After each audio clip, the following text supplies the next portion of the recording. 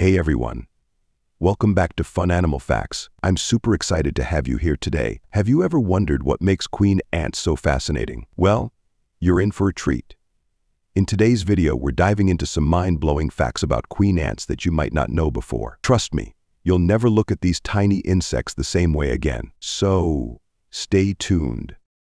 Before we get started, let me give you a quick overview of what we'll be covering. We're going to explore the life of a queen ant, from her origins and role in the colony to her unique physical characteristics and extraordinary abilities. By the end of this video, you'll have a newfound respect for these incredible creatures. And if you enjoy learning about amazing animal facts, don't forget to like this video, subscribe to our channel, and hit that notification bell so you never miss an update.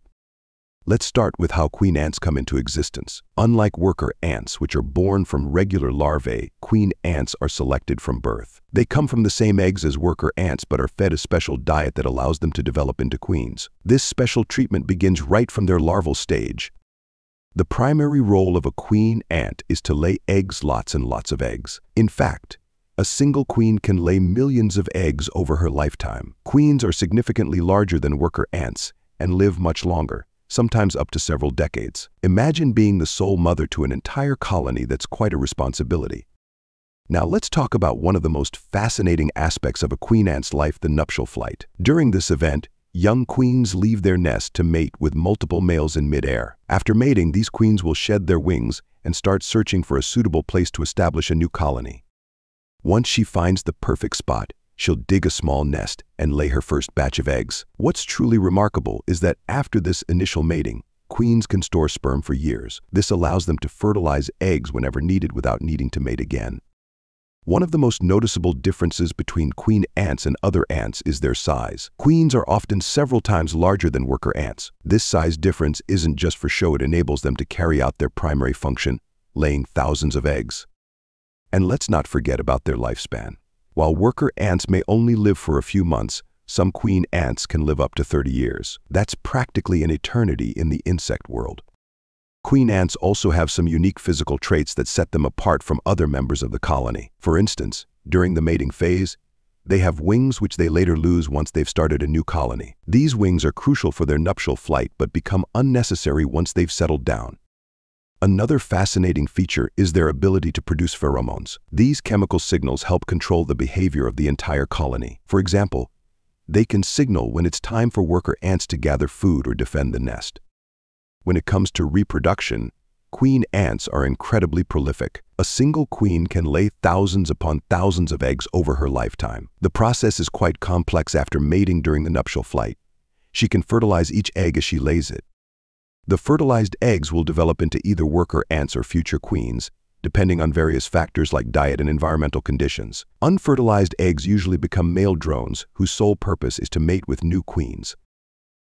In an ant colony, there's a very strict hierarchical structure with the queen at the top. Her pheromones play a crucial role in maintaining order within this hierarchy. These chemical signals ensure that everyone knows their role whether it's gathering food, defending the nest, or taking care of larvae. The queen's presence is so vital that if she dies or is removed from the colony, chaos ensues until a new queen can be established or the colony collapses altogether. Did you know that some queen ants can control multiple colonies? These supermoms manage more than one nest simultaneously through their powerful pheromones. It's like being the CEO of several companies at once. And then there are polygynous colonies where more than one queen coexists peacefully. This setup allows for even faster growth and greater resilience against threats.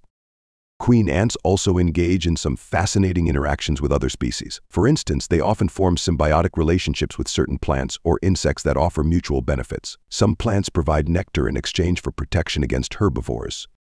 There have even been instances where queens exhibit surprising behaviors like adopting orphaned larvae from other colonies or collaborating with different ant species for mutual benefit.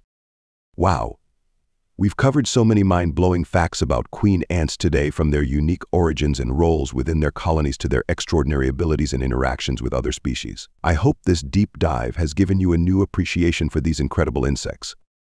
And that wraps up today's video. Thank you so much for tuning in and spending some time with us.